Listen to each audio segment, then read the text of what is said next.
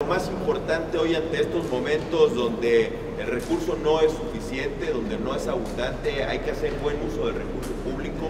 Aprovechamos este espacio, este foro para reconocer la iniciativa del gobernador Alejandro Moreno Cárdenas de eliminar el fuero constitucional. Hoy quien maneje recursos públicos tiene que saber que si no lo hace con transparencia, con total apego a la ley, pues estarán las consecuencias legales. Lo que busca esto es eficientar el gasto es transparentar el gasto, pero más importante aún es evitar que sigan habiendo desfalcos